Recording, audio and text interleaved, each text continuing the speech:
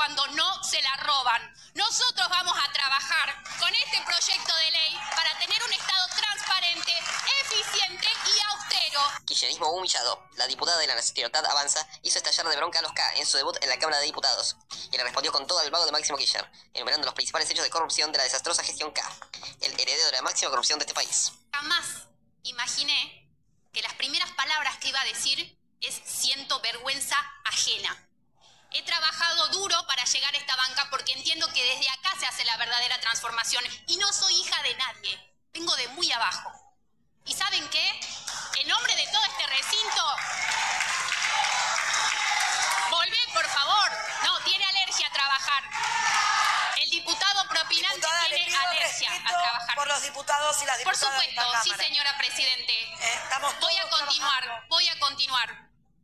En nombre de todos los diputados y de este honorable cuerpo, ¿saben por qué? Porque tuvieron que aguantar un discurso paupérrimo del heredero de la máxima corrupción de este país.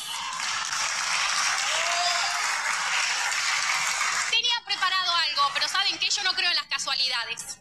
Y espero que así como fue muy oneroso con el tiempo del diputado propinante, también lo sea conmigo, porque creo que no me alcanzarían los días para detallarle la innumerable cantidad de hechos de corrupción que ustedes nos dejaron.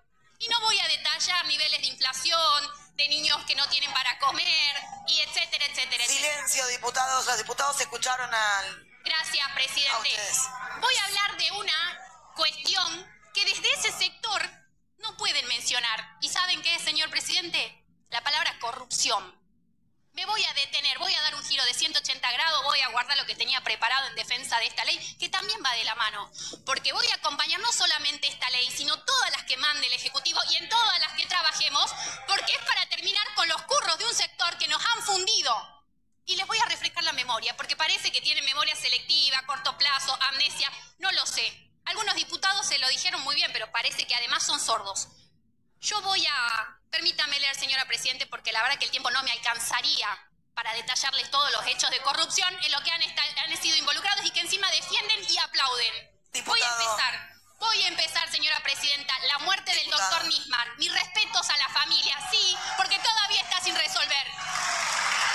Insaurralde y Suyates. ¿Cuántos insaurraldes tenemos en las provincias, en las ciudades, en los municipios que nos funden y después tienen el tupé de hablar de austeridad?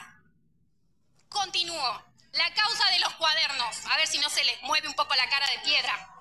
Los sobreprecios de AISA. Los bolsos llenos de dólares de López. Aníbal Fernández y la efedrina.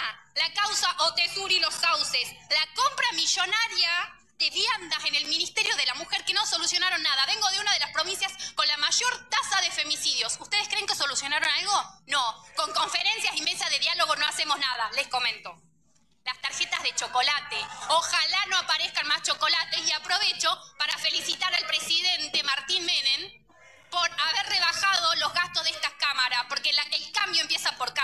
cuento. El mayor hecho de corrupción está en la obra pública. Sí, qué casualidad que algunos llegan siendo muy austeros y terminan. Lo primero que hacen es fundarse una empresa. Más de un argentino que nos está viendo deben conocer Diputado una obra ¿pueden interrumpir a la diputada que una está obra uso de la palabra? una obra que se giraron los fondos y no se hicieron. Y qué casualidad que la mayoría de esos hechos de corrupción fueron en su gobierno. Y hablemos del enriquecimiento ilícito. ¿Cuántos pueden hablar del enriquecimiento ilícito de los políticos? Señora Presidenta, voy finalizando para ser respetuosa con el tiempo y no como el resto. Voy a citar las palabras de un presidente que se ganó mi admiración, aparte de Javier Milei, por supuesto, que es el presidente Bukele. Sí, Bukele recibió un país igual de devastado que este. ¿Y sabe lo que dijo Bukele? Y se lo voy a decir con palabras simples y no tan rimbombantes. La plata alcanza cuando no se la roban. Nosotros vamos a trabajar con este proyecto de ley para tener un Estado transparente, eficiente y austero.